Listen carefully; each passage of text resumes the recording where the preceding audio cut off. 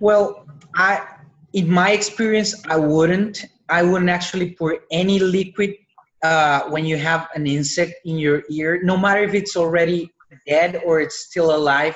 The reason why I wouldn't recommend it is because sometimes certain insects, uh, or most insects actually, when you put liquid, they die and they start to absorb and swell with the liquid. So they might become actually more difficult to remove and they're going to be more painful. So I wouldn't do it. I would just go straight to the ER and try to remove it with the adequate tools.